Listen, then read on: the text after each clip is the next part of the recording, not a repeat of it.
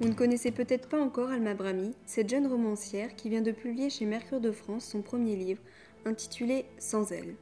Dans ce roman, Léa, la narratrice, n'a que 10 ans lorsqu'elle perd son père, puis sa petite sœur Solène. J'arrêtais pas de me demander pourquoi on avait dû enterrer papa et Solène. Pourquoi on n'avait pas pu les laisser dans leur lit, comme si de rien n'était. J'aurais bordé Solène, je lui aurais fait des bouillottes pour qu'elle reste toute chaude.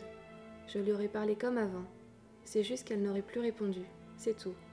Mais au moins, j'aurais pu la voir, la toucher et surtout la rassurer.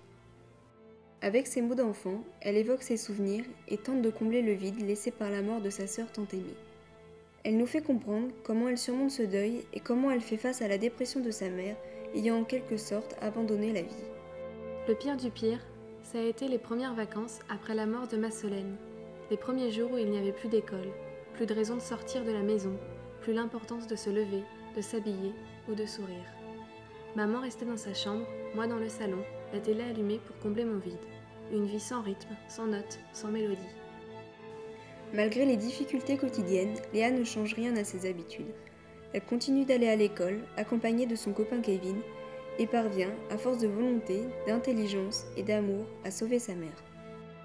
Alma Brami a donc su se mettre dans la peau de cet enfant très lucide pour nous raconter sans pathétique cette histoire pourtant touchante dans un style simple dont on ne se lasse pas.